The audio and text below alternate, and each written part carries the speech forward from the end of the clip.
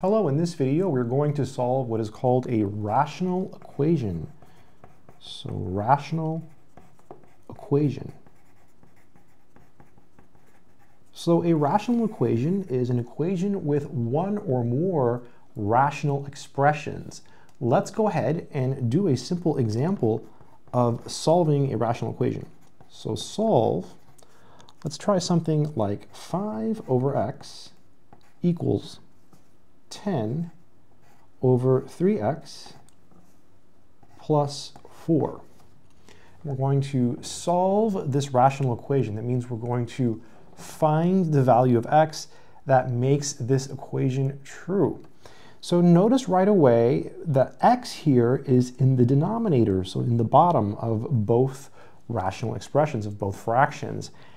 And if x were 0 here, that's a problem. Likewise, if x were 0 here, that's a problem because you can never have 0 in the denominator. Remember, the top one is called the numerator.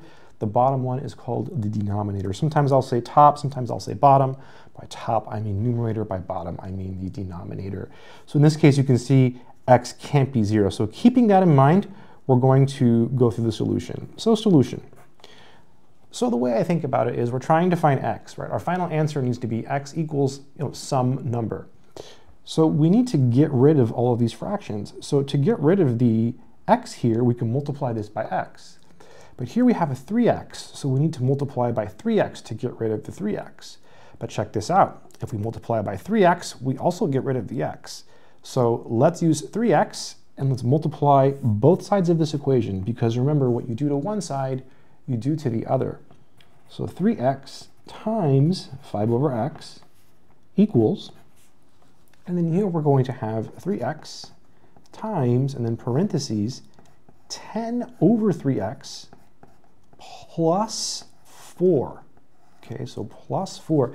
Be really careful here with the parentheses, right? So again, we had to get rid of the x, so we say, okay, we're going to multiply by x we have to get rid of the 3x. So we say, okay, we're going to multiply by 3x. But realize that if you multiply by 3x, it gets rid of the x also, so we just go with 3x. Uh, x here is not 0. You can think of this as 3x over 1. And so these would cancel. So we end up with 3 times 5, which is 15. And this is equal to, here we need to distribute. And I could skip a step or I could show it. I'm going to show it. So this is 3x times 10 over 3x plus 3x times 4. And again, it's, it's 3x over 1, right? These go away. So we're left with 15 equals 10 plus 12x. So subtracting 10 from both sides gives us 5 equals 12x. And then we could divide now by 12. And the reason we divide is because it's being multiplied. I, I did skip a step here, so I subtracted 10. Okay, going a little fast. Uh, and then here, dividing by 12 is going to give us x equals 5 over 12. And that should be the answer. Uh, we could check if we wanted to uh, by taking this number and plugging it in.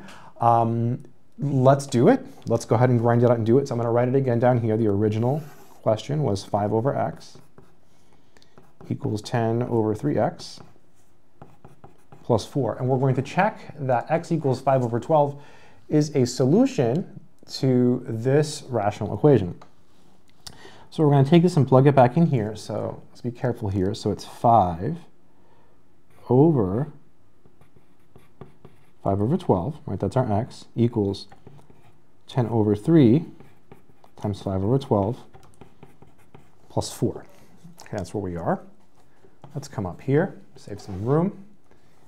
So 5 over 5 over 12 is really 5 times 12 over 5, right? Because division is multiplication by the reciprocal. So those will go away. We'll be left with 12.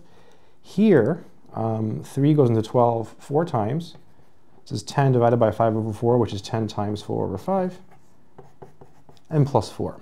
So 12 equals uh, this goes into 10 twice. 2 times 4 is 8. 12 equals 12. So grinding it out, hardcore mathematics. So there you have it. rational equation. We did that pretty quickly, um, but this is an example of solving a rational equation. And again, a rational equation is an equation with one or more rational expressions. Hopefully this video has taught you a cool piece of mathematics. Take care.